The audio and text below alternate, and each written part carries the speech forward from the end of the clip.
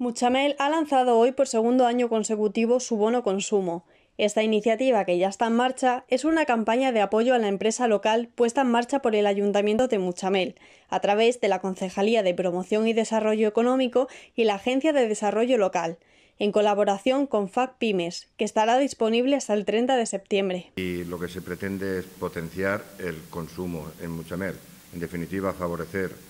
a los comercios, en este caso comercios, de todo tipo de empresas, talleres, hostelería, eh, de servicios, todo el tipo de empresas que quieran adherirse a esta campaña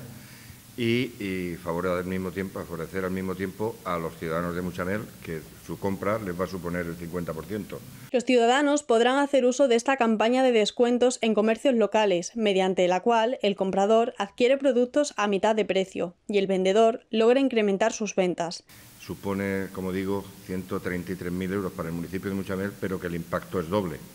El impacto es doble porque se favorecen los comercios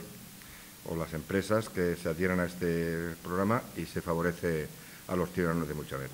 Para adquirir los bonos es necesario identificarse con el DNI y descargar los bonos cuyo valor serán de 10, 20, 50 o 100 euros, de los que el comprador paga la mitad del importe. Luego, a partir del 1 de septiembre, lo que se va a iniciar ya es la fase tanto de la compra del bono por parte de, los consumidores, posibles consumidores, como también del el consumo propio en la empresa.